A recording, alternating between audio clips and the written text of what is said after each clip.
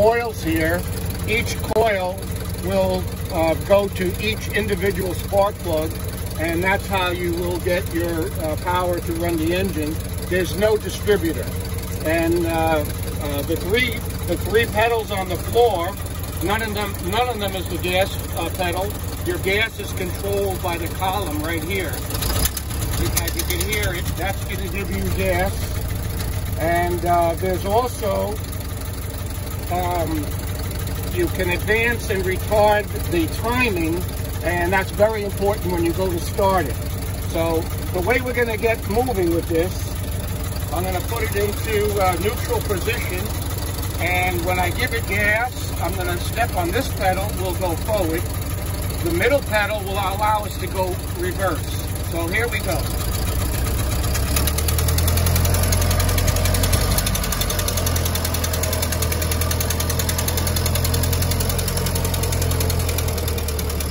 Two speeds. You got a high and a low speed.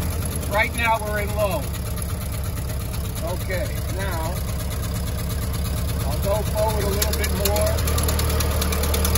I do want to go into reverse. My the brake is like on a, on a modern car. That'll brake you. And then the middle pedal will put us into reverse. And you constantly are adjusting your speed by the throttle on the control lever. Okay, back to the brake. And we're going to go forward a little.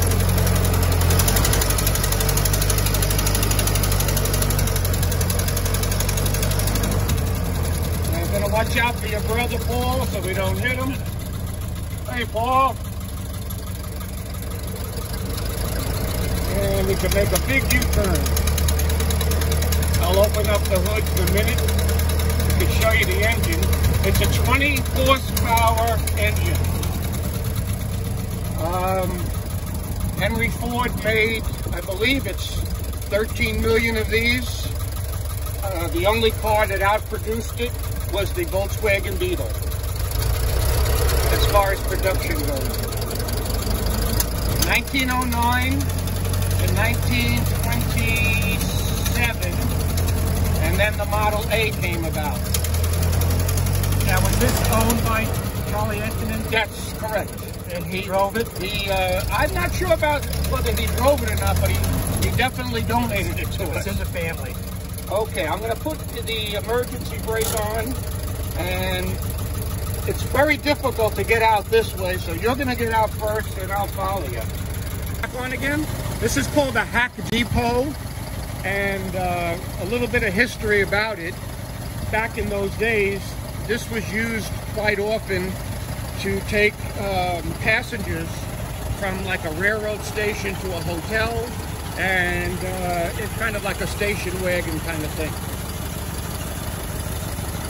I have a 1925 plate on there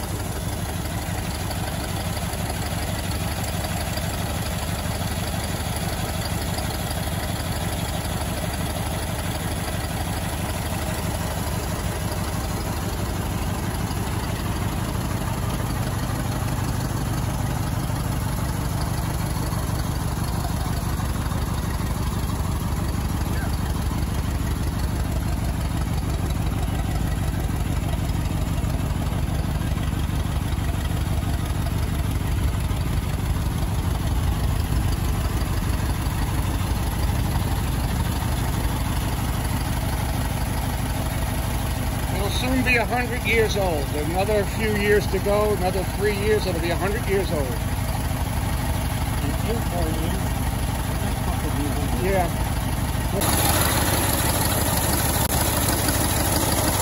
There's your engine, four cylinder, 20 horsepower. If you take note to the where the radiator cap is, if you take a note to that, uh, if you look maybe in this direction, you'll see what looks like a thermometer, and that's exactly what it does. That's going to tell you if you're overheating or not overheating. Uh, just like when your mom used to put a thermometer in your mouth to see if you had a fever, this will rise when it gets too hot. If it gets way to the top and don't move, you've got to shut it down and let it cool off.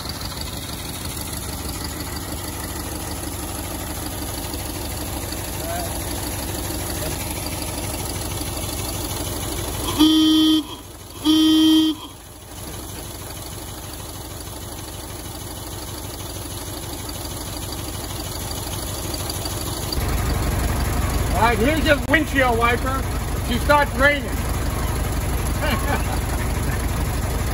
Station? Yeah, Okay, tell me when you're on. I'm on. All right. Uh, the design of this body was mostly used quite often to take passengers when they got off of a train to bring them to their hotel. Uh, they put their luggage either in here or in the back, and uh, the chauffeur would try, uh, transport them to their hotel. Uh, used quite often for that. Also, a couple of different variations. Uh, when the seats were not in here, peddlers would put shelves and actually sell goods right from here. Okay, so that, that's another way it was used as well. Uh, where uh, uh, fruit and vegetables uh, would be sold from directly from the from the truck. There's two types of Model Ts. This is a Model T. There's also one called a Model TT, which is a heavier duty, um, uh, more like a, a bigger truck uh, appearance to it. But it would still have the same engine. The engine isn't, doesn't change.